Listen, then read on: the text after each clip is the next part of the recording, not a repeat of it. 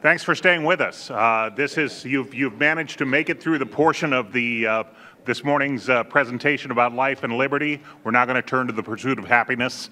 So we'll try to uh, uh, keep things rolling. Uh, my name is Scott Miller. I run the program in international business here at CSIS.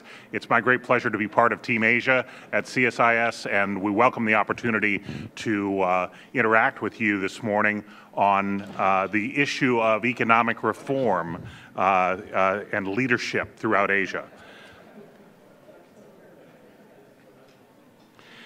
Thanks. But before we start with the clickers, we want to get the audience involved fairly soon, so we'll we'll get uh, we'll get to you very quickly. But let me just first introduce our topic and introduce our panel. Uh, the uh,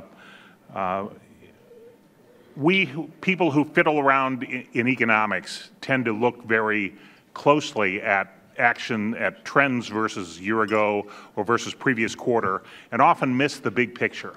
And I think I'd like to start today with the big picture in Asia. The big picture in Asia over the past generation, say 30 years or so, economic reform in Asia has probably lifted more people out of poverty and improved more lives in that period of time than any comparable period in human history in any area. It's been a remarkable advance in, in human development and, and human and prosperity. Uh, and it is really a stunning achievement uh, when you look at it in toto. Uh, there's a lot of concern now about whether this, uh, whether this party keeps going, whether we continue on that track. And clearly, there's, there have been signs of slowing uh, in, in, in recent years and months. And so the key question facing us this morning is what happens next? And what are the, some, some of the key reform challenges on the economic side that leaders are facing? who will lead economic reform in, in Asia Pacific and the Asia region? And are there any common themes that, that cut across the region? We're going to explore these and other questions, and importantly, the nexus between leadership and economic re reform. I'm delighted to be here today with uh, our panel of experts. Uh, uh, from uh, on my left uh, and your right, uh, Ernie Bower. Ernie Bower is our Sumitro Chair in Southeast Asia Studies. Next to him, Matt Goodman. Matt Goodman is the Simon Chair in Political Economy, but, but also importantly for this panel, our expert on Japan. Uh, Matt uh, has lived in Japan for I think about nine years, lived and worked there, uh, is deeply familiar with the culture, politics, and economics of Japan, and will uh, talk broadly about Asia economics, but also specifically about China. Uh, next is Rick Rossow. Rick is a, a Wadhwani Chair in U.S.-India Policy Studies, uh, and uh, we're delighted to have Rick with us. He has just returned from India, so if you see him not off during the presentation, uh, use the clickers to remind him that it's time for a response. But he's actually in amazingly good shape for a man who's just back from a three-day trip to India. Most impressive. Uh, uh, finally, at the end of the panel is Scott Kennedy, who, who is a, a newcomer to CSIS, but a, a long uh, student, longtime student of the Chinese economy. Scott is deputy director uh, of the Freeman Chair in China Studies and director of the project on, on Chinese business and political economy here at CSIS, a new position, and we're delighted to have Scott as part of CSIS Asia team. In any case, let me start off with a question, a general question in the audience, uh, your views about economic challenges. But first, look at your clicker and find the on-off switch and make sure it's on. We have about 300 people in the room. Uh, we had about 100 people responding uh, on our, our, surveys before. So in any case, please look at your clicker. So first is, first question, presuming your clicker is on and you're using it, which economy uh, faces the most daunting reform challenges? China, A, B, Japan, C, India, D, Indonesia. Uh, India is C, if you didn't notice that. It seems a little low for most years. Uh. That's right. All right, and uh, thank you for responding to letter E, those of you who were there. Uh, but uh, we do have, so we have, uh, we have a, I guess, uh, Japan continues to be probably the most daunting, but let me turn first to Matt Goodman uh, for some overall comments. Matt, if you want to comment on Japan's particular, but also what's going on economically in the region, what, what are the growth expectations, and what are the core challenges? Well, thank you, Scott. Um, Yeah, I'm surprised by that answer, but I will, uh, I'll come to Japan in a second. Um, so yeah, it's going to be, I think, a difficult year for growth uh, in the Asia-Pacific region, uh, and therefore an important year for reform. Uh, you know, if you break down the growth challenge to the sort of demand side and the supply side, I think there's good news and bad news on both sides. Um, on the on the demand side, you have you know, hundreds of millions of consumers uh, with pent-up demand uh, and potential purchasing power that could create a new sor source of uh, demand. Uh, and you have, importantly, the U.S. growing uh, more strongly, and so we're providing uh, demand for the region. So that's sort of the good news. On the other hand, China is clearly slowing and potentially more uh, significantly slowing, and uh, that is obviously has been a source of demand for the region over the last uh, you know decade or more, and so that's that's a, a, real question mark and concern I think about the growth outlook for this uh, this year. Um, and then on the supply side, again, you have good news and bad news. I mean, oil prices falling is obviously good news uh, for, in, for the most part uh, for growth in the region, um, except for the, those countries that are exporting energy and uh, for countries like Japan that are dealing with deflation, because obviously uh, lower oil prices is a mixed blessing if you're, if you're in that situation.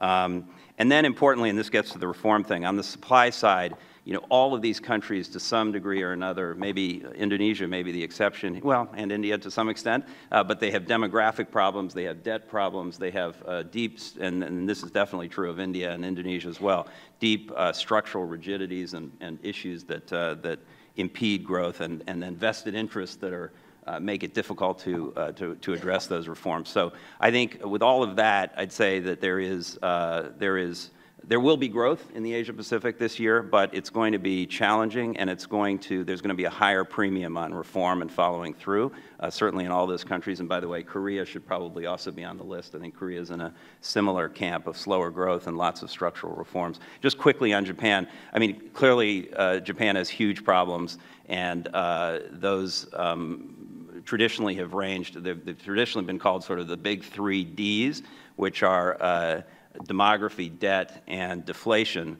Uh, and uh, now I'd add, you know, denuclearization following the Fukushima uh, disaster is another D, which they're struggling with. And those are huge problems in and of themselves, each one of them. And together they really put a huge burden on Japan to find new sources of growth uh, and dynamism. On the other hand, Japan is really, uh, has a lot of assets. Um, it's obviously a very wealthy country and has um, a lot of capacity, a lot of technological uh, capacity.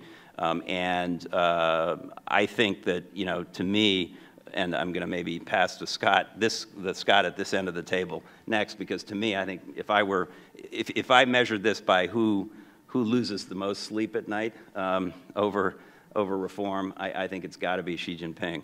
Um, uh, you know, at least Abe has a, has a wealthy country that has a lot of capacity um, and uh, the worst, worst that can happen to him as he goes out of office is, uh, you know, with a 9% approval rating like many of his predecessors. I'm not predicting that, but I'm saying that that's about the worst that could happen, uh, whereas, uh, you know, Xi has much more significant challenges, and, and um, I wouldn't want to be him.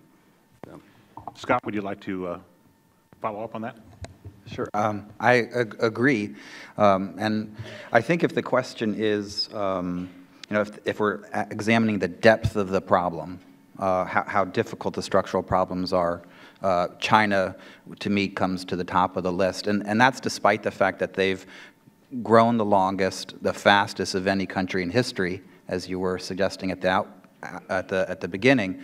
Um, but the, but uh, they also have just monster problems, over 240 percent leveraging of you know outstanding debt to GDP, uh, which uh, became worse last year, didn't get better, uh, and so that, that deleveraging is, is going to be particularly hard. Uh, they have, anyone who's been to China knows what the environmental problems are like, um, which is one reason people don't want to go to China and they're moving out of China. Um, and it's why I'm so happy to be at CSIS, because the air outside here is much better than in Beijing. Um, and you know, a, a lot of imbalances in, within the domestic economy, uh, dealing with state-owned enterprises, and you know, and so the question also could be asked: if if nothing is done, then then I, yes, I'd agree with Matt that then Xi would be in much more trouble uh, than than probably the other leaders. Um, So at the same time, um, China has always shown an ability to, to not stand still. So I, I think if we're looking, if we ask the question, who does China have the potential to actually do, a- do a lot, or are they in big trouble? I think actually Xi Jinping has a lot of tools in his tool belt. Uh, and so I don't expect them to stand still. Um, and I expect them to try and tackle some of these uh, structural problems this year in, in, in, qu- uh, and roll out a lot of uh, new policies. Thanks, Scott. Uh, Let's move to the second question, and then we'll involve the rest of our panel. The second question is about leadership, okay? And it's a simple question. Which leader do you think has the best chance of delivering on reform in 2015? A is Xi for China, B is Abe, C is Modi, and D is Jokowi in Indonesia.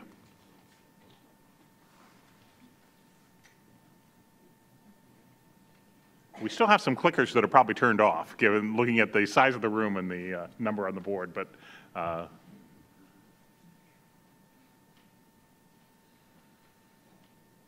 all right.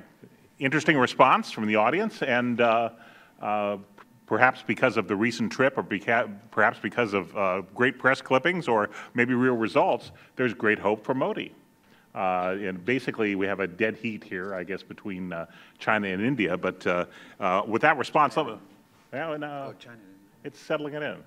Okay? All right.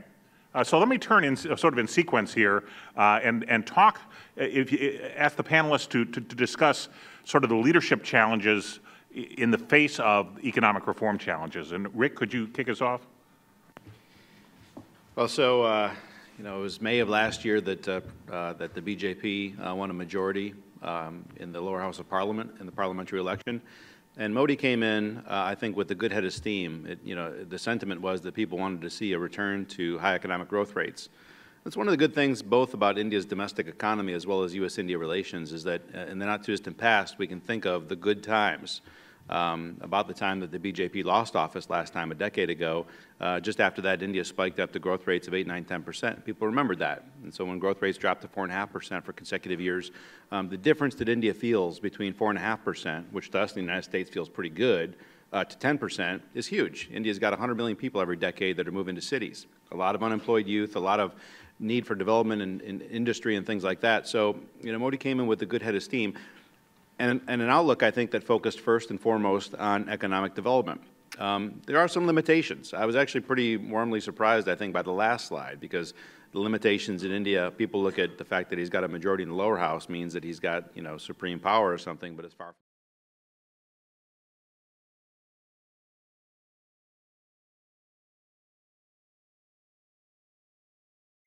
and that's unlikely to change dramatically over the coming years. It's going to be about three or four years until they'll be able to control the upper house. Um, also, a lot of reforms that we want to see happen on electricity, on water, on land acquisition uh, require the assistance of state leaders. And right now, his party, the BJP, is only in charge of eight states of the 29 in India. So the ability to actually get things done on the ground uh, is fairly limited. Now, of course, some states, even if you're not aligned with the BJP, are going to carry out good positive reforms that the center tries to do, but not every state will. But I think, you know, much like we saw with China, it's not going to be every single person across all of India in every state that's going to feel the benefits of a reform program first. Uh, the West Coast, particularly some of the productive states like Maharashtra and Gujarat that the BJP controls, and that we've seen do state-level reforms, and also have some of the most powerful industrial development assets, ports, LNG terminals, things like that. Um, so it'll be, you know, the, the reforms and how people actually feel it, um, it's going to be regionally first. And then hopefully that'll start to spread uh, throughout uh, wider uh, swaths of the country. Thanks. Uh, Scott, looks like the room also, ha- uh, as, like you, has a fair amount of confidence in uh, the Chinese government to execute reform.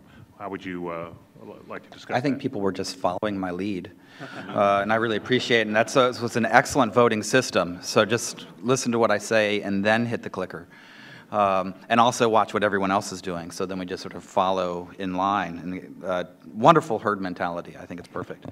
Um, you know, so.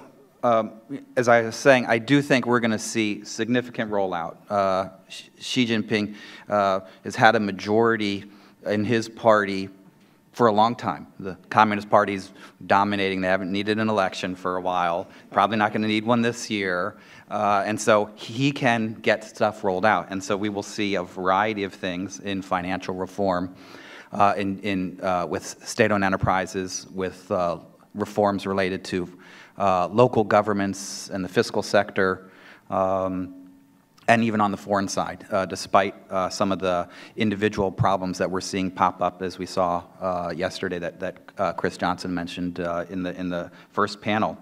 Um, but despite the fact that they are able to push out a lot of reforms, um, and uh, there still will be problems with implementing. Uh, and so I expect some serious challenges with getting things through. I think they'll get the most important things through to stave off the biggest problems. Uh, but uh, you know, they're dealing, they're do, trying to do a lot of things at once. And uh, another thing that they're working on is, is anti-corruption. And this anti-corruption campaign is meant to, to you know, solidify his leadership, um, deal with entrenched interests, uh, shake things up. At the same time, that's really causing uh, a lot of folks who are important in implementing policies to, to slow down what they're doing because they're really nervous uh, and they are focused heavily on anti-corruption and less on the other specific types of economic reforms. Um, in addition to that, local governments, uh, the, the, central bureaucracy, very critical to implementing uh, and rolling out reforms. There's a lot of conflict between the different parts of the Chinese uh, bureaucracy and between Beijing and, and the lo local governments. Uh, local governments have done particularly well over the last 20 years in figuring out how to, to, to deal with this system um, and have a lot of off-budget income, uh, which uh, Xi Jinping wants to bring on budget. Uh, and so they need to be compensated. So I expect we'll see lots of reforms. Uh, the most critical ones pushed forward so there's not to avoid a crisis, but the sustainability uh, of these reforms uh, I'm, I'm, quite concerned about. Thanks. Matt, uh, uh Prime Minister Abe just won a big electoral victory uh, and seems to be well positioned uh, with, the, with his voters. he's somewhat discounted here in the room. How would you? well, I think the low, Jap or relatively low Japan score here obviously reflects the previous question because people are, think that the, the Japanese challenges are, are greatest uh, and probably also reflects a deep-seated cynicism in this room about, uh, about reform uh, in Japan after 30 years, in my case, of, of watching this and waiting. Um, but I do think, I mean, based on the question, I think Abe should score higher because he does have, uh, I would say, he's in a better position to implement economic reform than any leader in the past, again, 30 years. Uh, he uh, has a strong electoral mandate, strong majorities in both uh, houses of parliament he ha- of the Diet. He has um, no real opposition uh, party to contend with. He has no opposition, no serious opposition within his own party.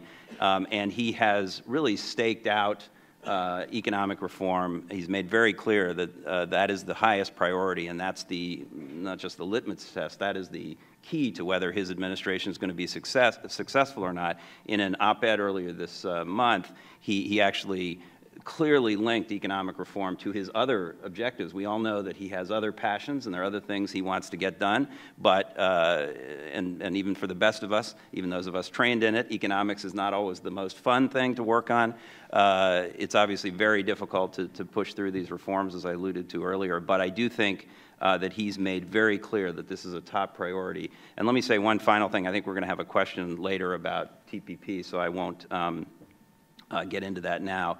But I would say that a lot of us have been pushing and saying that, uh, that the test of whether Abe is serious about economic reform is whether he, um, whether he moves forward to seal a, a, TPP deal with the United States and then with the other 10 uh, negotiating partners. Uh, and I would say that I think we're on the brink of a historic agreement between the United States and Japan on trade.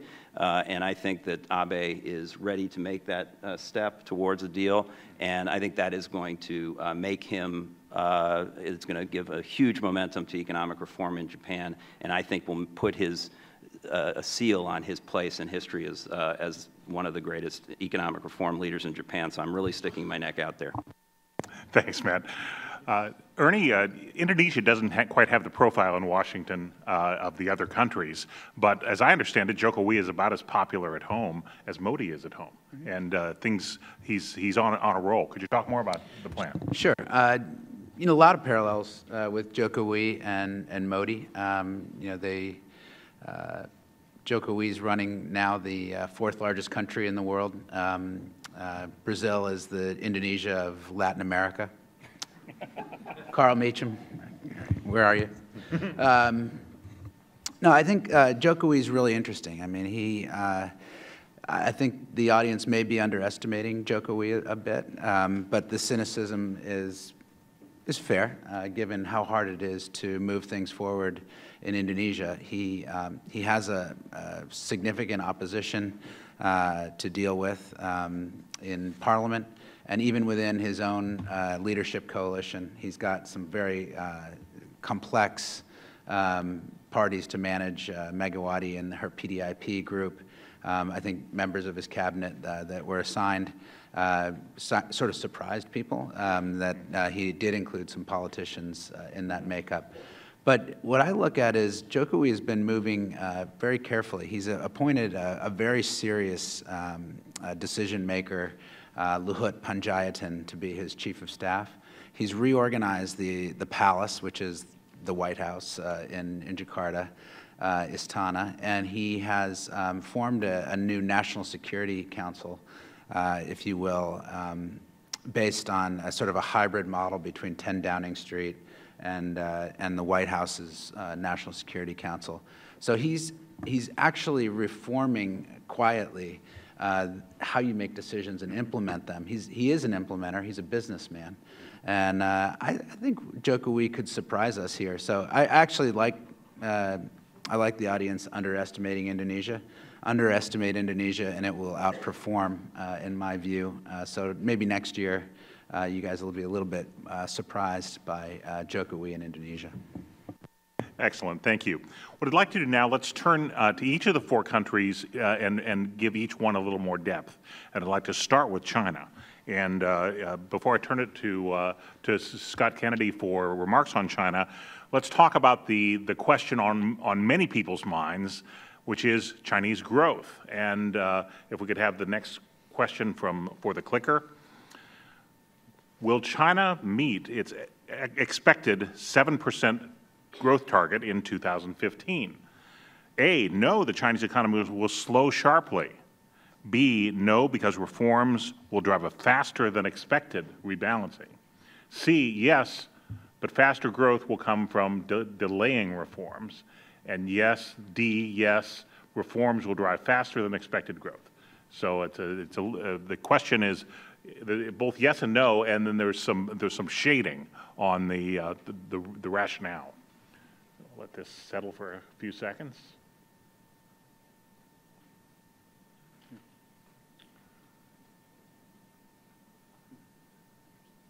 Well, if I interpret this correctly, uh, the plurality of the room is looking for a disappointment that China will not meet its expected 7% growth. That would be the sum of A and B. But there's, there's a division in why that might happen. And we have roughly uh, a third of the room on the optimistic side that China will meet 7% growth, uh, but there's, a, again, a split, not uh, about a two to one split in the rationale for, uh, for, for meeting the growth. So, uh, Scott, I'll, with that as, as, as, as a background, I'll let you uh, explain. Sure. sure. You know, everyone was with me on Xi Jinping being a reformer, and then you were abandoning me. Um, or some of you. Um, so those that stayed with me on B, I appreciate the support. Um, I, I, again, I do think that um, we're going to see significant uh, reforms uh, announced and, and, rolled out. Um, but you know, uh, there's a lag between the time one adopts policies, uh, announces them, rolls them out, and you see economic consequences. Uh, in, in fact, you know, a lot of the problems that we're facing now um, are the consequence of policies that were announced and rolled out in 2003, 4, and 5. And sometimes it really takes a long time to, for things to work through the system. So I expect uh, even though I'm optimistic uh, from a policy, political perspective of, of, of, of the rollout of, of reforms, that it's going to take a while to bite. Uh, and for us to see, see positive uh, improvements in Chinese productivity um, and uh, dealing with uh, their, their deleveraging problem, which is, which is quite serious. Um, at the same time, uh, you know, I think all of the talk that I see has been about the structural problems and the structural transition that China is facing, and very little attention to cyclical problems. Uh, and to the cyclical nature of growth in China. And you just go and you look, China has very clear business cycles. Um, and we are now at the bottom of both a business cycle and uh, in the midst of uh, trying to implement significant structural reforms at the same time. So growth now is particularly low. Uh, Chinese 7.4% is doesn't come anywhere close to the quality of American 3.0% growth. Um, and I expect growth this year to, to uh, be below 7% for sure. Uh, the only way it will be above it is if you, um, you know, if the official numbers need to be uh, uh, tinkered with just to make them feel happy and you get close to it. But it sounds like, uh, you know, what everyone is saying is, is that they're, they're going to be comfortable coming in somewhere around 7. I would expect it to be on the south side of 7. You, in your co closing comments there, you mentioned uh, uh, tinkering with the numbers. And uh, I know uh, CSIS, and, led by Matt and others, have done some very important research over the past year about what do we know about Chinese data collection and how reliable is it? Uh, would would either uh, either you Scott or you Matt like to comment on on sort of where what we think about the numbers and what we think about it as being able to plan based on it? Sure. Um, you know, this has evolved been an evolving problem over time. Obviously, in a system uh, originally where uh, central numbers were based on actual physical activity at each lower level and then passed on and then accumulated and added up, that creates the opportunities for massive problems. So, a la the Great Leap Forward, you know. Um, uh, embellishment at the county level, it leads to greater embellishment uh, at the provincial level and on and on, and you get that building. Uh, I think China's done a lot of work in, in their statistics to avoid that. Um, uh, one is they've focused much more on sampling now rather than individual economic units reporting. Uh, and in, addition to that, uh, they are bypassing uh, th those parts of the, of the political system that have uh, a strong incentive to lie and, and embellish. So uh, the central government's uh, statistics are based on the uh, actual uh, surveys and, and, work of the National Bureau of Statistics, not the provincial governments. Um, but of course, uh, you can do a lot of things if, if you want to tweak things in one way or the other uh, with the money supply or, or, other types of things. So when I was saying tweaking, if they, if they want to get growth, well, they can just in, inject a little bit more money to the economy uh, or uh, play with the exchange rate a little bit to make exports a little bit more competitive. So I wasn't necessarily that they were going to just sort of, you know, uh, X out some numbers on the paper uh, and then put in some new numbers, but there's some things that they can do if they, you know, Q4 is always a time when China does a little catch up. And so they could do it with, with those type of tools. Yeah. Great. Uh, let's uh, move on to one more audience question about uh, sort of the, the, the, purpose and motivation of economic reform in China. What is the purpose of Xi Jinping's economic reforms? Is it A, increasing transparency in the rule of law, B, enhancing economic competitiveness, C, implementing a new vision for China's future, D, consolidated political power, and we finally reached E, none of the above.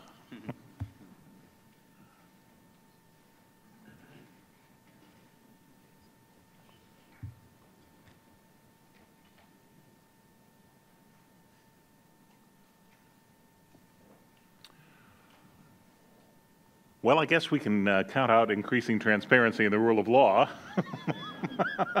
Let's see. Basically, the room is uh, either about implementing a new vision for China's future or consolidated political power with the, with the winner by a narrow margin consolidating political power. Uh, Scott, what do you make of this? Those, the, the clickers we have are terrific. I love them.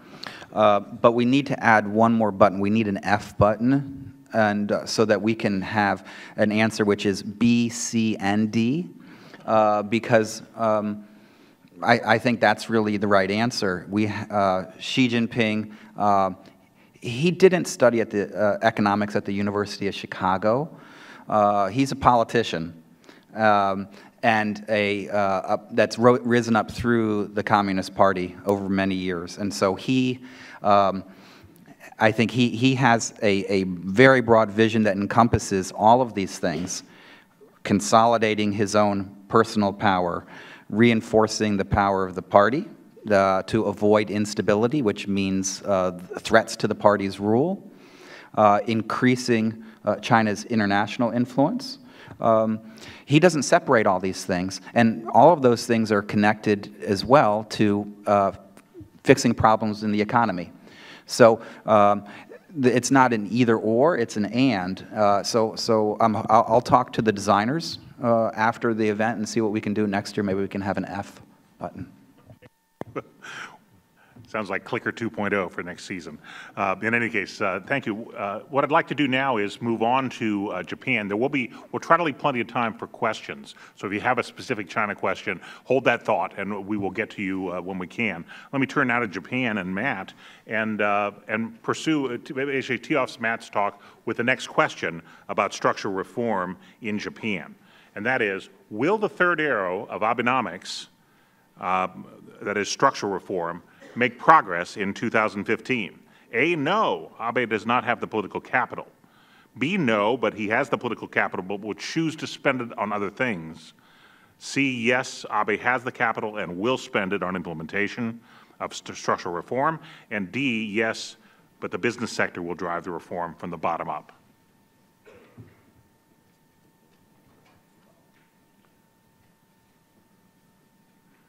Starting to settle out with a clear win for both structural reform and the leadership of Abe. Um, those of you who've spent any time in the, in the Japanese business community would not be surprised by letter D. Uh, but uh, in any case, uh, but a fair amount of confidence. Looks, looks like uh, over three quarters of the room uh, believes that structural reform will make progress. Matt.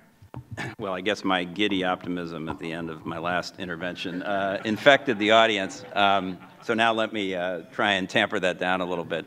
Um, I mean, I do, I do think TPP is going to happen, and I, and I think that uh, Abe is going to get a lot of credit, and I think it is going to give uh, momentum to reform in Japan. But uh, let's not get too far ahead of ourselves. I mean, clearly, uh, clearly, uh, answer um, A is wrong because he does have the political capital, as I said. So the question is, what's he going to spend that political capital on? And as I said, he has made a very clear statement since uh, the election, since the election at the end of December, that he is going to spend it on economic reform.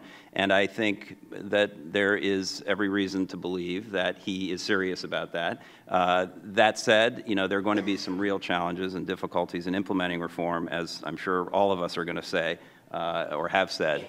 Uh, because there are some deep-seated um, uh, interests that have to be cut through.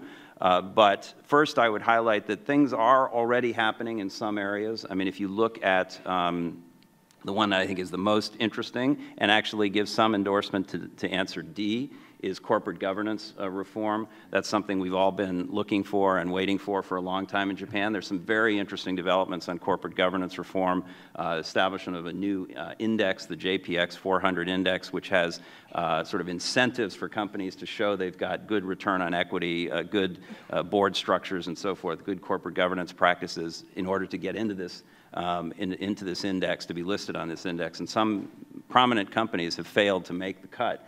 And so that's creating a little bit of a competitive dynamic. Uh, you do have um, boards uh, adding um, independent directors and even female directors.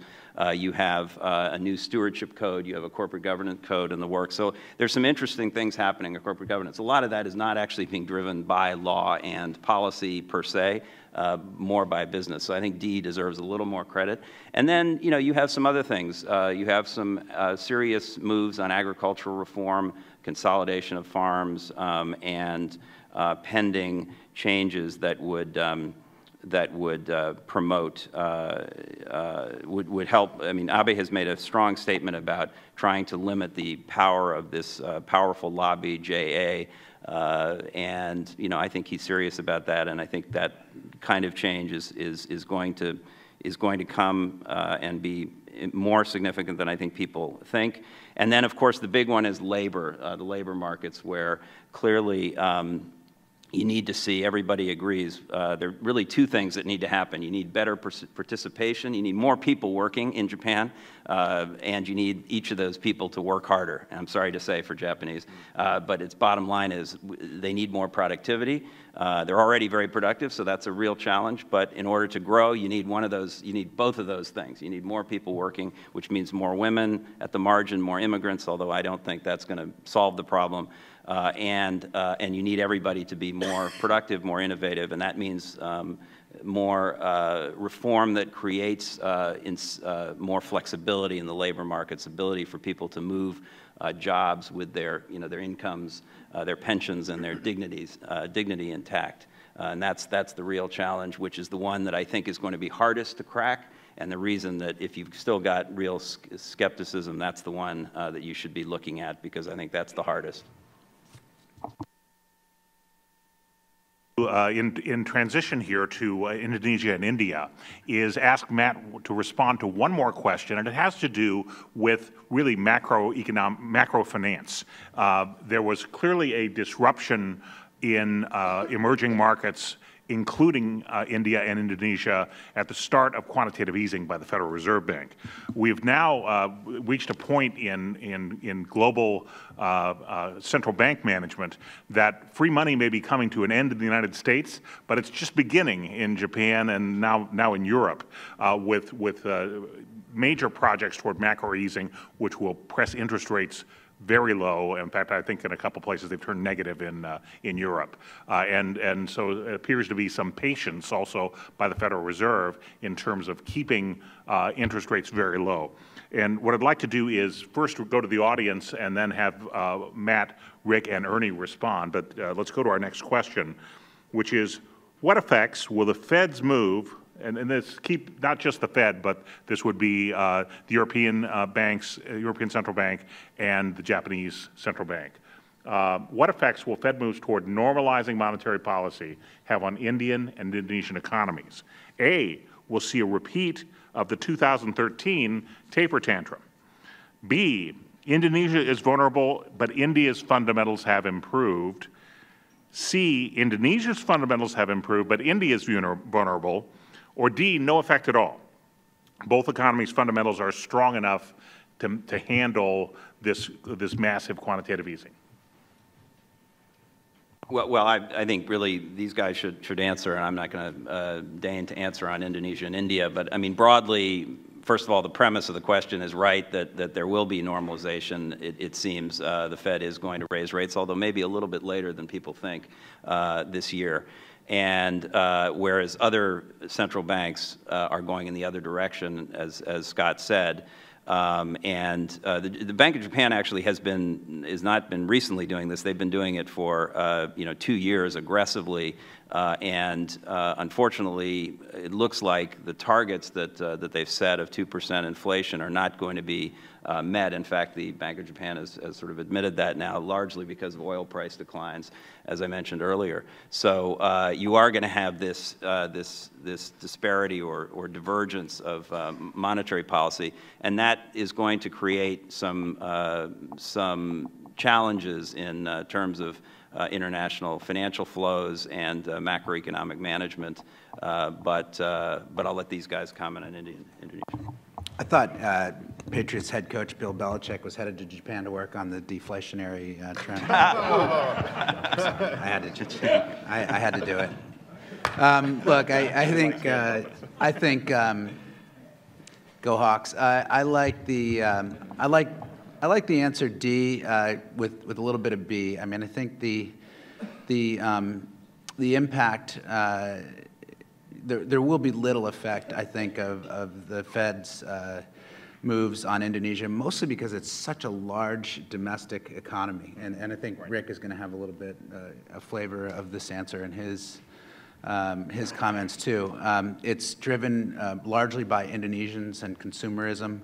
I think uh, this goes to uh, a feeling that uh, pervades uh, Indonesian uh, sentiment, I think consumer sentiment and economics, which is that it's Indonesia's time. Uh, it's, it's, it's become an economy with real scale. Uh, it, is, uh, it is well over um, a trillion, well over a trillion dollars GDP. It's, it's now more than almost half of ASEAN's economy, uh, and Indonesia sort of has arrived. And, a, and a lot of that is on the backs of Indonesians who have who spent in, in Indonesia. So I don't think the the Fed moves or the central bank moves, Scott, that you uh, talked about, is going to have a significant effect on Indonesia. Where they, where, where they are vulnerable is in the commodity price slide. Um, and Indonesia finds itself in a very uncomfortable position, which is that um, they didn't make hay when the sun was shining. In other words, when commodity prices were skyrocketing. Um, and Indonesia was really uh, just, you know, killing it uh, in terms of exports of uh, raw materials and natural resources, that was the opportunity to really drive economic reform and build uh, and enhance their foreign direct investment, enhance their manufacturing sector, and quite frankly, they, they didn't do enough uh, on that front. Well, I think on this question, you know, India sort of failed miserably the practice exam and then passed with flying colors uh, the actual exam. So if you look at uh, Fed tapering, the threat of tapering in 2013 uh, forced uh, May, June, July of that year for massive FI outflows, uh, triggered a run on the currency, uh, triggered the near downgrade of Indian debt, sovereign debt to, um, to uninvestment grade worthy. So it was, it was a rough situation there, but actual tapering took place last year.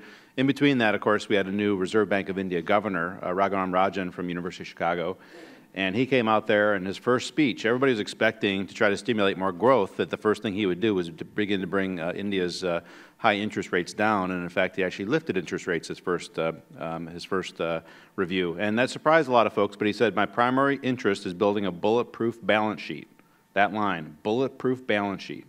The primary thing he wanted to guard the economy against was when tapering actually did happen, that they wouldn't have a, um, you know, the same thing happen with the threat of tapering. And whether it was him, whether it was other things in the economy, they survived tapering last year without even noticing that it happened. In fact, you know, we put out a paper from my chair here at CSIS talking about the fact that tapering had happened and Indian markets hadn't noticed. And I was a little bit nervous to send that out. You know, the old Bugs Bunny commercial where uh, Wile E. Coyote runs off the edge of the cliff and doesn't realize he's on thin air until somebody hands him the Book of Gravity.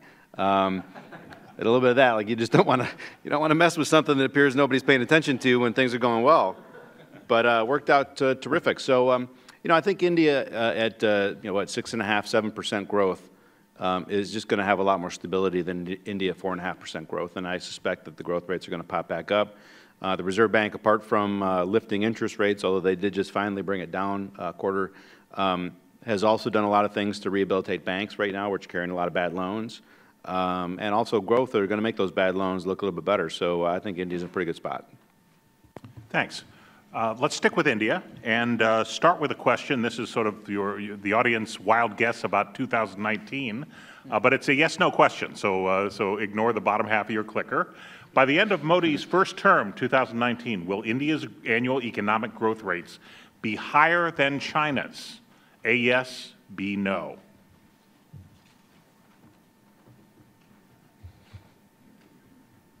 Interesting. I don't know whether that's confidence in India or hedging on China or both, but uh, Rick, over to you.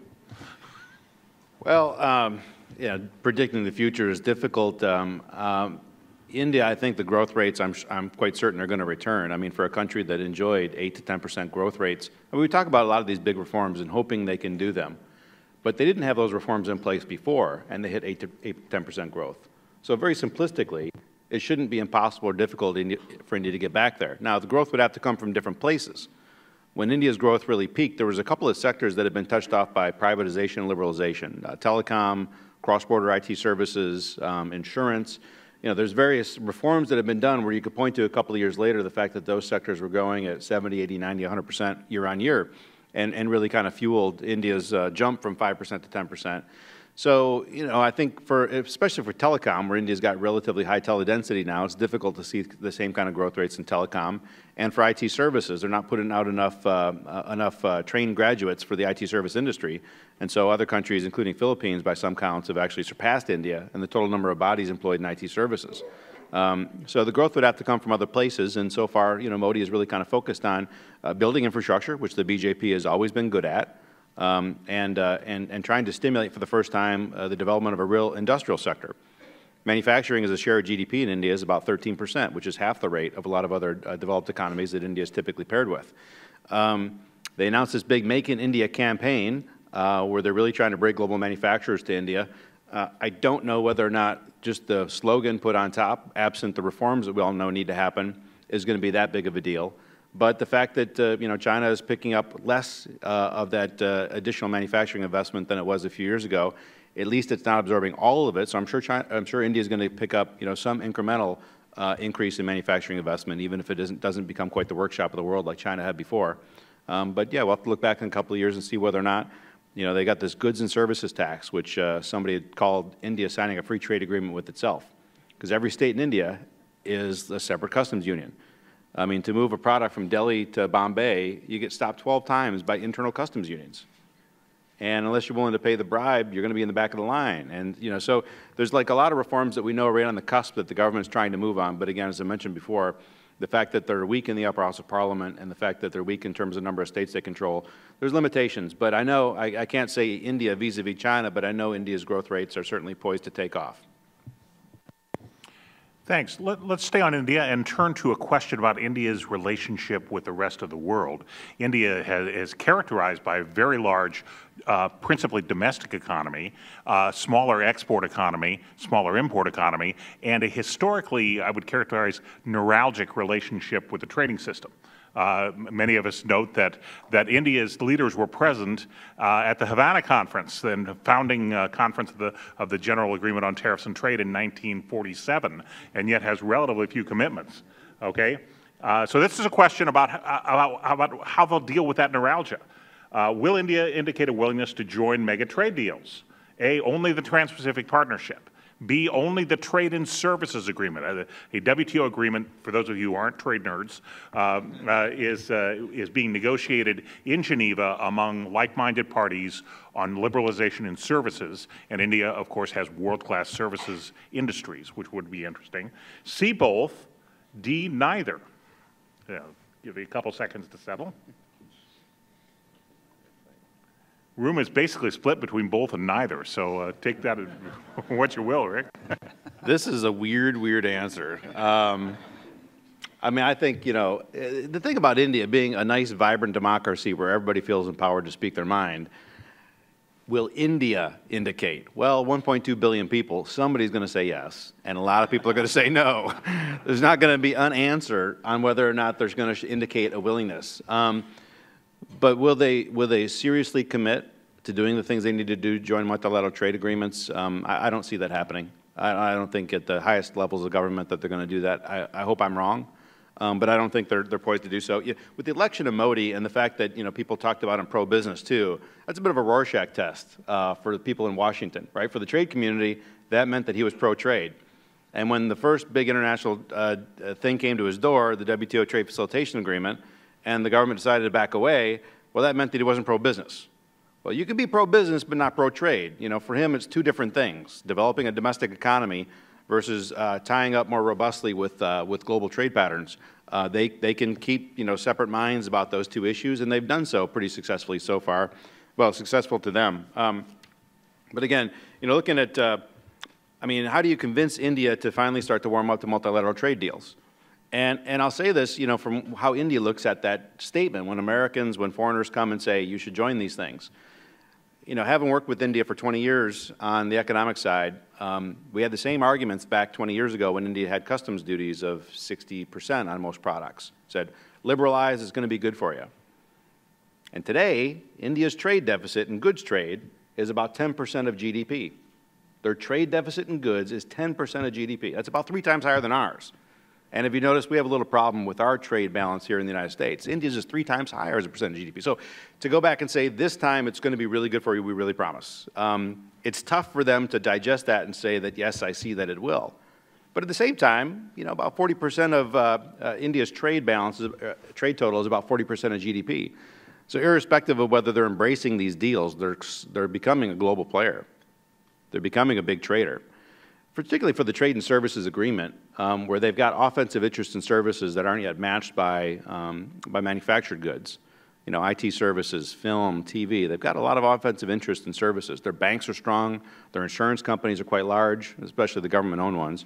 Um, so they've got offensive interests in the trade and services agreement. So I think if any of them breaks, that's probably the, uh, the most likely. Um, and uh, the other one where I think there's a, a, nascent kernel of interest is on the ITA2, the Information Technology Agreement. You know, again, India wants this Make in India campaign, and they want to focus on IT products. Um, but without being part of the, uh, the Information Technology Agreement's update, it's difficult for them to be uh, part of the supply chain for IT manufacturers. It just, you know, it doesn't make sense to keep yourself like a rock sticking out of the river. Um, but again, it's a minority right now that is even showing any interest in any of these. Uh, I think if any of them, TISA is the one that I think makes the most sense immediately, and, and hopefully we'll see a warming up over the year uh, for the for the other ones. Um, a small a small note made in the uh, the joint statement after uh, President Obama's trip was that you know America supports India's interest in uh, joining APEC.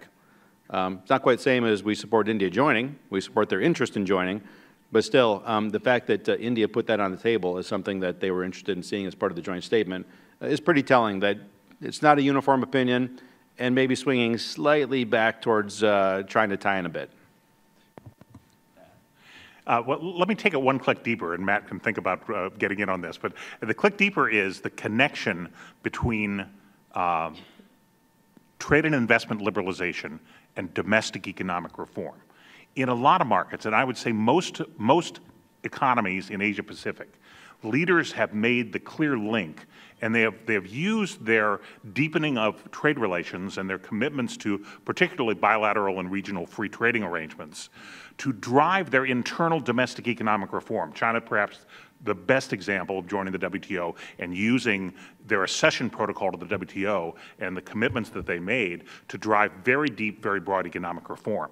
That's never really played in India. I recall uh, New Zealand's Ambassador Mike Moore was at one time the Director General of the WTO, and uh, Ambassador Moore told me he had been burned in effigy uh, in India more than any other place in the world. he liked it. it. was one of those things. Bore, uh, if you know Mike, he bore it as a badge of honor. But, but in any case, but this connection, the, that link never seems to get made in India, and I don't know if you have a comment on that. It is, but in the negative.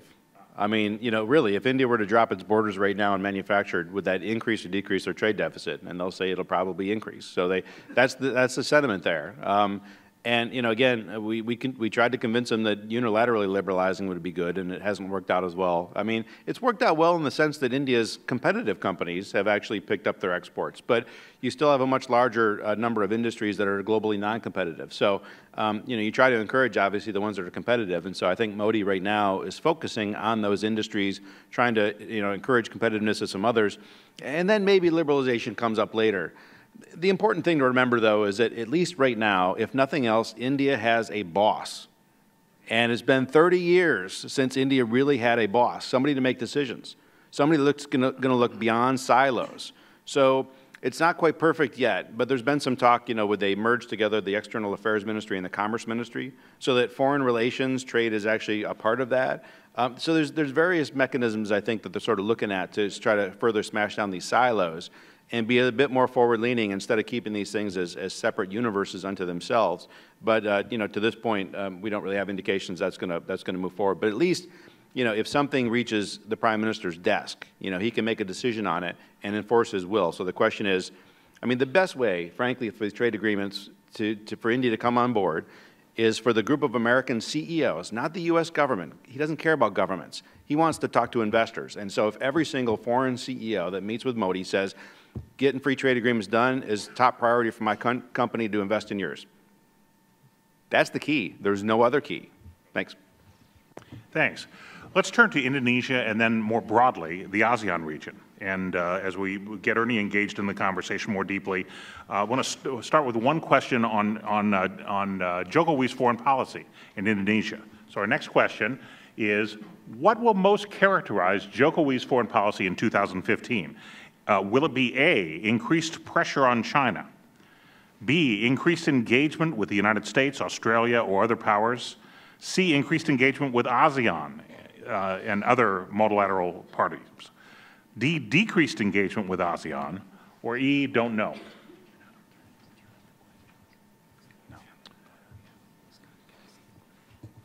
The audience sees uh, Indonesia as ASEAN-centric.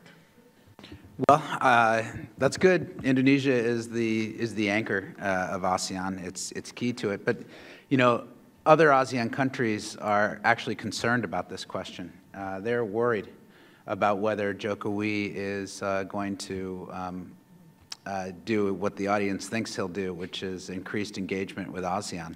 And and I think there, there's reason they should be worried. Jokowi is. Um, his approach to foreign policy is, is actually reminds me a lot of what I see in Modi. Uh, he's a businessman.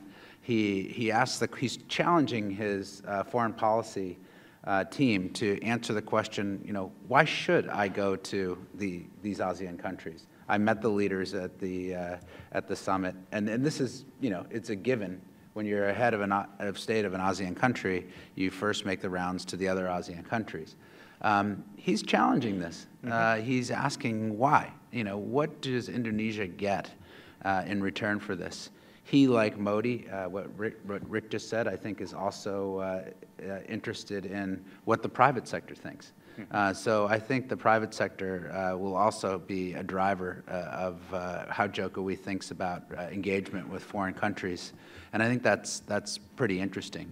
The, there are real pressures uh, on Jokowi from his military uh, in particular and, uh, and from Indonesians in general um, uh, to um, stand up to China and support, uh, support other ASEAN countries, uh, particularly the Philippines and to a lesser extent Vietnam, in their challenging China's, China's own challenge uh, to their, their near neighbors' sovereignty over the South China Sea. And you can see uh, an increasingly assertive uh, narrative uh, coming out of the Chinese military. Uh, concerns expressed about the Natuna Sea, for instance, and the fact that the nine dash line tips the Natuna Sea. Um, all of this is, is sort of going to play out over the next year. Uh, Jokowi has described Indonesia's vision as a maritime, uh, an international, a global maritime nexus. And I think Wee, in this uh, sense, is dialing into a real sense that the new uh, geopolitical center of gravity of the world, you know, the geopolitical navel of the planet, is is right there between the uh, the Indian and the uh, and the uh, Pacific Oceans. And Indonesia is the archipelago with its 17,000 islands that links those two oceans. And it is, it does provide the, the naval um, uh, lanes uh, to enter, uh, to, to transverse between the two oceans. So a lot of the world's trade and, and a lot of its most strategic um, uh, straits are, are through Indonesia, and, and of course Malacca um, uh, is shared by Indonesia and Malaysia. So what Jokowi means by this global maritime nexus is, is still uh, being teased out, but I think, uh, I personally think events in, in this year uh, will help him define that. And, and my, my view is, you know, with, with uh, taking into account Chris Johnson and Bonnie Glaser's remarks in the last panel, uh, I think uh, China's actions will have a, a, large impact on shaping Indonesian foreign policy. Okay, let's look at uh, ASEAN more broadly. Uh, for the past 30 years or so, one of the safest bets in economics is that the ASEAN nations would increase their economic engagement with one another, that there would be deepening integration in ASEAN. So let's turn to an, an, an audience question. And this, is, this one uh, looks like it was written by the Gallup organization. Uh, how significant an impact will the, imp will the establishment of the ASEAN economic community have on regional integration, uh, regional growth, excuse me? A, very significant, B, somewhat significant, C, not very significant, D, insignificant, and E, don't know, or are sitting on clicker. okay, well, somewhat significant, yeah. yeah I, somewhat significant is, is right. I think the killer bees have it here. Um, look, the big story of the 21st century uh, economically will be the economic integration of Asia uh, generally. Uh, and uh, my view, my, my, my, clear view, is that ASEAN is, plays an absolutely central role in that in that economic integration. It is the place where China, Japan, Korea, the United States, every, Europe, uh, India, it's the place where all these countries are going to meet uh, and compete. And it's got, its, its role has been this traditionally, right? It has been the place, it has been defined. Its culture, its very culture, its religions have been defined by um, the, the larger nations around it, tr trading through it. Mm -hmm. And I think it's therefore ASEAN's economic community, the AEC, which was a, a commitment the leaders made in their ASEAN charter um, to significantly uh, or fully integrate the ASEAN economies by 2015, won't be that that goal won't be fully realized in 2015. But have they made significant progress? Yes. Will they continue to drive integration uh, within ASEAN? Yes. Uh, are the are the world's supply chains uh, getting more and more linked to and through ASEAN? Yes. And if you look at the impact of, of Thai flooding uh, in 2011 uh, on global supply chains in the automotive and electronics sector, it was very significant. Mm. Flood, massive flooding in Thailand was very serious. Right. Uh, had a had a um, an impact. You know, it, it, decreased availability of key parts that stopped supply chains, and it dropped uh, growth in in some of those sectors by very significant numbers. And I think um, you're going to see that again, I'm afraid, uh, when we, Thailand goes through its, what I think will be sort of an existential political crisis.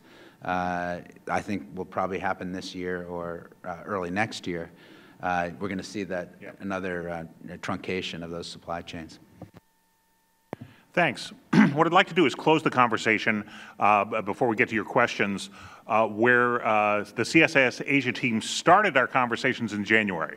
On January 5th of this year, uh, CSIS hosted an event called the Pivot 2.0, where the, the Asia team uh, uh, made its recommendations to the administration and Congress about how they can work together to deliver uh, the uh, pivot to Asia uh, in 2015 and 2016.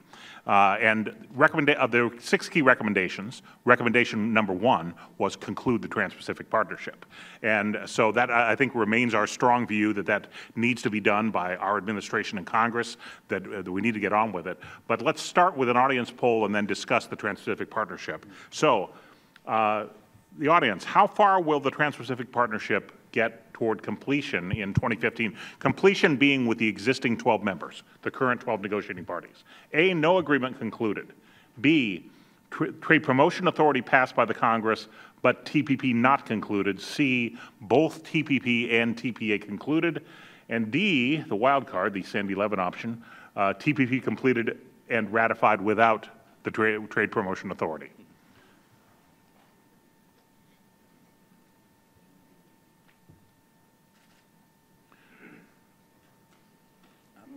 The audience tending toward a hopeful note, uh, which, which uh, this sooner or later you have to believe the glass is half full, that TPA will be both concluded and that prior to that, the, the Trade Promotion Authority will be enacted. So with that, let me turn to uh, really Matt and Ernie for your comments.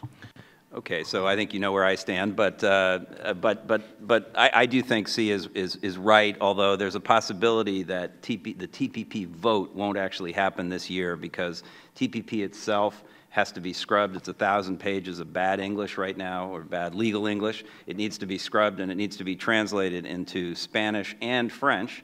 Uh, thanks, Canada, uh, for um, for that uh, that contribution um, to to the process. Um, and so that's going to take a long time, and I think it, it's possible that it's not going to happen this year. But I do think, uh, I do think the U.S. and Japan, well, let's put it this way. I think that, that we get there despite the fact that there are three substantial risks and hurdles along the way. Number one is that the U.S. and Japan do not actually agree um, to, um, uh, to a bilateral deal on market access. Um, I, I, until a few weeks ago, I would have shared the, the skepticism about that or the, or the greater concern about that. I think that things have moved substantially in the last few weeks, and I think the most significant uh, harbinger of, of this to me is that the pork producers in the United States are now saying that they're close and that the deal, that there's been progress and the deal can be done. The pork industry has been one of the, the most concerned about uh, access to the Japanese market. And so to me, that's a signal that we're very close. And I also think from Abe's point of view, as I said, I think in the end, he's going to say, yeah, this is difficult. I got vested interests I have to break through. But the strategic and economic case for TPP is so compelling that I've got to move beyond sort of arguing over little uh, details of, um, of pork or auto parts or other things that are still on the table. And so I think that gets done, but, but I admit there's a risk there. Then there's the 12, and in the, in the room, among the 12 negotiating parties, uh, there are still a couple of countries that are of concern. One of them I've already mentioned, Canada, which is being very difficult on some agricultural issues. Um, and Malaysia is a kind of an uncertainty. I'd like Ernie's view on that, but uh, as to whether Najib can deliver. Uh, and then there's some substantive issues like state-owned enterprises, IPR, environment that are still not quite there, but I think they're close. And if Japan and the U.S. agree, I think that gives the momentum to, to get rid of those, uh, those remaining issues. And if Canada doesn't want to get on the bus, I'm sure no tears will be shed uh, if they're left standing on the side of the road. ouch. Uh, um, uh, and then finally, obviously, the biggest risk is here in Washington that uh, the politics don't allow for TPA to be concluded. TPA does need to be concluded, and that requires both the Republican leadership and, in Congress and the President to continue to do what they've been doing, which is to talk and act as though they really want to get TPA done, notwithstanding all the other many things they disagree on. There's been a sort of an a, a obviously studied effort to put uh, TPA into uh, isolation ward and not let it be infected by all of the other um, uh, things that, that, that, they disagree on. And as long as that continues, um, I think the TPA you know, does move forward. Again, I admit huge risks there uh, for a lot of reasons, but I do think that's the, uh, that's the sort of chain of events that gets you to answer C. Yeah, I, those are great comments, and, I, and what I'm going to do is just make a couple quick comments. I love talking about TPP, but these two guys are, are fantastic. So I'm going to I'm to make a few brief comments and cede some of my time to you, Scott, because you're fantastic on this issue. Um, I would just say that in among the other uh, TPP um, uh, uh, negotiating countries outside of Japan and Canada, that um, uh, TPP has become uh, not only um, vital for driving economic reform in their countries, which has become politically difficult uh, in both Malaysia and Vietnam because Najib himself, Najib is stuck with a, he's, he's stuck between his own Tea Party, which is led by uh, former Prime Minister Mahathir and a, a group called Perkasa, uh, sort of the, the right wing of the UMNO, uh, the ruling UMNO party, and, and Anwar and the opposition. Um, both Anwar and Mahathir uh, agree again on something, which is that Najib is always wrong and uh, that TPP is bad. And that's really, it's Malaysian politics uh, here. Uh, Mahathir has other reasons uh, for, for not wanting TPA to, TPP to pass. But Najib needs this to go, and he wants it to go. And he, um, I think that just, uh, in spite of the heat that Malaysia is going to get in the next couple of weeks over um, the their, their sedition law and the Anwar verdict coming up, um, that Malaysia is a very important partner for the United States. And I think the White House understands this is trying to balance uh, and, and, balance equities. So Malaysia will make it, and they'll be in this agreement, but it has to go this year.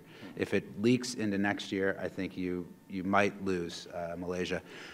Frankly, uh, Vietnam also. Uh, the, the geopolitical um, uh, value of TPP for Vietnam and, and the economic uh, reform value for the country is absolutely crucial uh, for the current group, but the Vietnamese are moving into their own political cycle, and the Party Congress is coming up in 2016.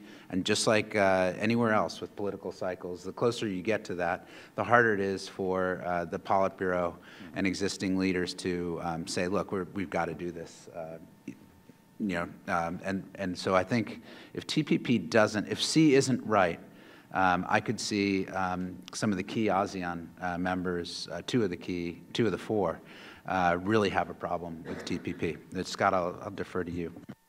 Well, thanks. And uh, I, am, I am likewise optimistic. Uh, I'm encouraged.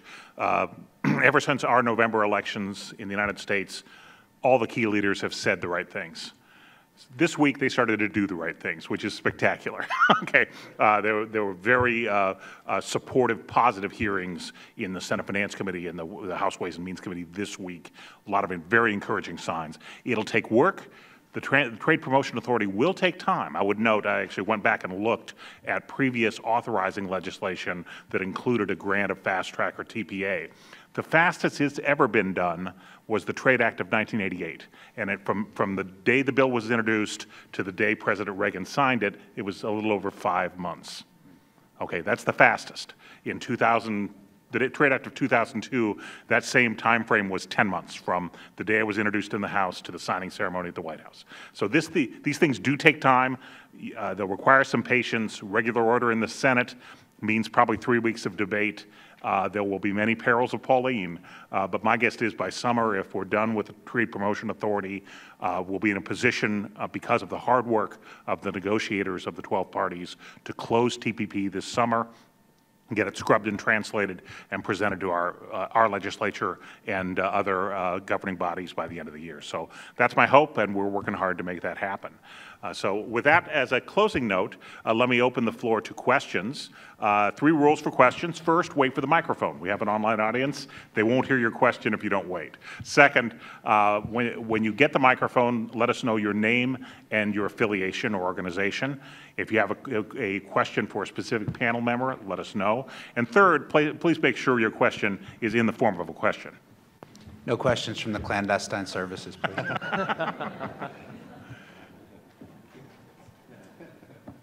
Questions? Yes, sir, in the back here. Hi, my name is James Frigovich. I'm a, uh, graduate student at Georgetown University's Public Policy School. And uh, my question is about China. I was curious about um, the panel's thoughts on the housing bubble in China and how likely that bubble may burst and cause a crisis. Thank you. Thanks. Um, it's a significant uh, bubble in that you have a, a great deal of uh, excess capacity. Um, regionally, loca- you know, focused in certain parts of the country overall. Um, you know, if, if you take a very long-term perspective um, out, you know, China uh, needs to expand the amount of housing that it has overall. You have people moving from the countryside to cities, from smaller cities to larger cities, uh, and overall, over a five, 10-year period, you need more housing. But in the very short term, you've got, uh, you know, uh, neighborhoods, even cities uh, with, with, very low, um, you know, very high vacancy rates. Um, and that is part of that uh, leverage problem that I mentioned before, 240% uh, of GDP, uh, an outstanding debt that, that has to be dealt with. Um, I think that these are, that that type of, that debt include, and this um, leveraging issue can be dealt with um, without prompting a monster crisis. Of course it can, um, and you know, there is the possibility uh, and likelihood we'll see a variety of defaults on uh, corporate bonds in China this year. Um, my, my guess is, is that um, adults will prevail and not see this as a part of a structural problem and just lead to a, a, a whole wide stream of, of defaults. Um, but you never know. That's the that's you know in, in looking at, at, how things could go off the rails in China and thinking about the domestic potential, it, that would be uh, the one to look at. Uh, we have two questions. First here in the front. You get the microphone here. Thank you. My name is Paula Stern. I have my own consulting uh, firm. Uh, headlines yesterday in the Wall Street Journal dominated um, probably by uh, uh, announcements from a number of multinationals um, uh, about the exchange rate and the impact of the very strong dollar uh, on particularly manufacturing, but even on uh, other, other leading U.S. corporations. And that's likely to continue. Obviously, in Congress, one of our biggest issues for TPA is the currency issue. Um, my question is whether you feel um, that this pressure that, uh, from the exchange rate will shift uh, your optimistic um, schedule for passage of TPA this year. Not so much the TPP, but the TPA. In other words, Congr- Congress. Matt, if your treasury chip still operates, uh, you want to take a question on currency, or I can, I can try to finesse it? Well, yeah, as Scott's alluding to, when you join the U.S. Treasury, you get a little chip implanted in the back of your head saying, never talk about currencies uh, in, in, in public. So, um, so this is a, a difficult one for me. But uh, look, I mean, it, it does seem that the currency issue is back. It's been on and off as a, as a part of this uh, discussion about trade for, for a long time. Um, there were a lot of questions about it at the uh, hearings the other day, um, in addition to the, the press reports you're, you're alluding to. Um, and I think it is a serious issue um, in the TPA, TPP context. Uh, but um, my sense, and, and it is a risk, and I would say there is a, a risk that this is an issue that could, um, could uh, disrupt uh, the negotiations over either TPP or TPA, and they're linked. Um, uh, eh, but I, I, my sense is, bottom line, that, that the body language is that this is manageable as a, um, an issue that, you know, when you look at the way Mike Froman is handling it, um, you know, he's sort of, in a narrow sense, he's passing it off to Jack Lew and saying it's Treasury's problem, correct thing to do. Uh, thank you, uh, according to that chip.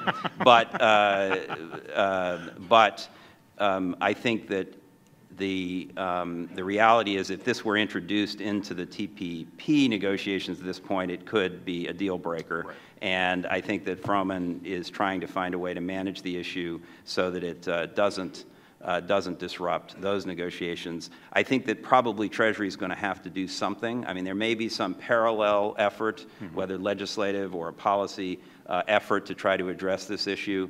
Uh, in a sense, that's what happened in 1988 exactly when uh, the Treasury was, there was a tremendous pressure to call Japan a manipulator in those mm -hmm. days, uh, no longer uh, in the sights in this regard for most purposes. Um, but uh, the, um, and what happened in the end was that there was a provision written in the um, Trade Act of 88 that right. required Treasury to write this report every six months, you know, saying you're a manipulator and if you don't stop, we're going to have consultations with you. Um, and stern uh, letter so, to follow. So there may be there may be some tweaking of that. Maybe that becomes a quarterly report, uh, or uh, no, serious. I mean, actually, I don't mean to trivialize this. I think it could be something more significant than that, where there's some threshold number uh, that has to be estimated, and if somebody's uh, exchange rate is uh, away from fair market value as determined by that number, then there has there might be you know you could see a range of possibilities like um, countervailing duty yeah. uh, cases or something or that are required to be taken. But I think it's going to be more that than it'll be settled in parallel to the TPA TPP debate, but not yeah. Dis I, destroy I it. That's a that's a judgment call. I, I'm much more sort of you know 60-40 on that as opposed to, you know, 75-25 I think, think, think that's the right way. I think it is an issue that will have to be dealt with. I think it will be dealt with in parallel, not embedded in the trade agreements ultimately. But we'll see how it turns out. It, it's an important issue. So, yes, sir, you've been very patient. Uh, oh, oh, oh, you're, I, it's here. I'm sorry.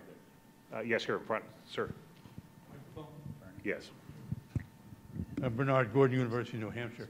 Uh, my, I follow uh, Paula Stern in uh, not only raising the, uh, the currency issue, but a week ago today, uh, Sandy Levin, now, a ranking member of Ways and Means, gave uh, let out a very long and very serious document uh, where I think it implies that he's favorable to TPP, he's favorable to TPA, but he listed a series, a long series of serious reservations that need, in his view, to be overcome. I wonder whether, uh, I mean, that's not in the Senate side, but on the House side, whether that is being um, given sufficient weight, because it, I took it to mean a, a gentle, a gentle, positive movement, but not a, a, an, an easy way out. Yeah, that's a very good question, and uh, clearly Mr. Levin is a serious player on, on these and many other issues, uh, and his views are usually uh, very well thought through. Uh, I think ultimately will come down, the House being a majoritarian body, uh, will ultimately come down to the number of, of members who share Mr. Levin's views uh, and the degree to which they become the part of the majority that ultimately passes this bill.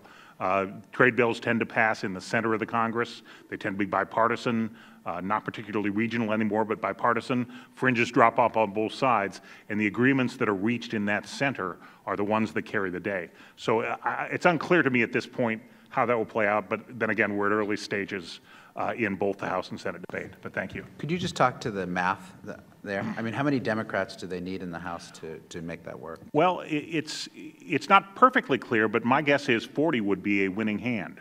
Uh, uh, you know, 40 to 50 House Democrats with the, given the large sort of 90% or so of Republicans who voted yes on the three free trade agreements in 2011, which were put forward by President Obama. So given, given the sort of the, first of all, the United States is much more pro-trade. Second, the Republican conference as a whole is much more pro-trade than it was 10 or 20 years ago. I mean, uh, the Taft wing of the party is gone. Being from Ohio, it's hard to say that, but, but it is. It was a very protectionist wing of the Republican Party. It really doesn't exist anymore. And, uh, the, and uh, for many of new members of, of the Republican conference, uh, the, uh, the, free trade is part of their agenda of economic freedom. It's very close to their own philosophical views. So the trade agreements have actually gotten easier over time, and they've gotten easier mostly because the, the Republican support has grown. But still, I think there's, an, there's important to have this as a bipartisan bill. I think 40, 40 Democrats in the House is a winning hand. Certainly, you'll need 10 in the Senate just to get past cloture. Uh, so the, there's no question the Senate will be a bipartisan bill just because of the, the way the Senate operates. But, uh, but I think that that is all achievable. So one more question in the back. Yes, ma'am. Hi, my name is Julie Pikowski. I'm with USAID's Asia Bureau. I'm the Indonesia desk officer. And I just want to turn our attention back to Indonesia and address this to you, Murray. I think that um, Indonesia definitely has been underestimated as far as uh, how far it could go in the next year.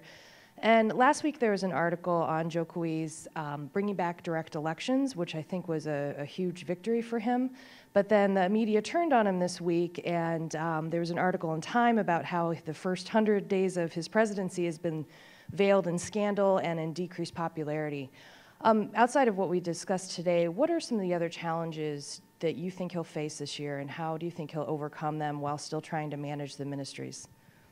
Uh, you know, Jokowi has got a real challenge because it's, it's an existential challenge actually in Indonesia because he actually comes from outside of the traditional power structure of Indonesia. So he's not part of, uh, he's not traditionally part, he's not in the military. He doesn't come from the major uh, families, the, the, the uh, business families, and he's not part of the political, uh, you know, elite. He doesn't come from one of the political families. So he literally is, is coming from outside of Indonesia's political structure, which I think is partially why, a big part actually, of why Indonesians overwhelmingly wanted him to lead them.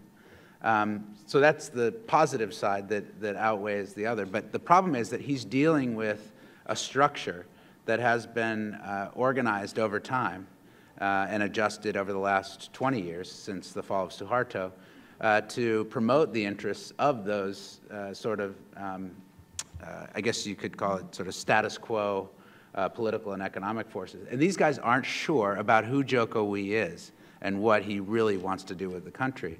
So they're, uh, they're chipping away at him with every bureaucratic trick in the book.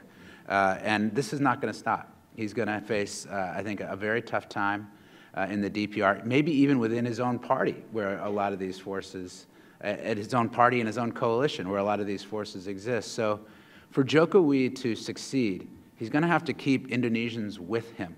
Uh, so what I would watch is his, how he talks to Indonesians, um, how uh, his popularity rating is going to be key. And he's going to have to be, combine that with a sort of a deft hand at navigating the, the bureaucracy. I saw uh, well, a lot of Indonesians were disappointed with the choice of his cabinet, which did include a couple, you know, disappointing politicians and some of the usual suspects. And I think people thought, oh, here it is. You know, Jokowi doesn't have the political will to drive reform. I, I didn't read it that way. I read it as um, a more practical understanding of what he needs to do to, to drive reform there. So uh, I'm going to reserve the right to be optimistic about this guy uh, for now. Uh, but this is going to be a very tough year, uh, and I think the, a lot of the issues that Time, the, the very good Time article underlined, were, were ones that um, uh, bear watching. So thanks for the good question. Thank you for, uh, I'm, I'm sorry we're out of time, uh, but thank you for your questions and your attention, and please join me in thanking our panel.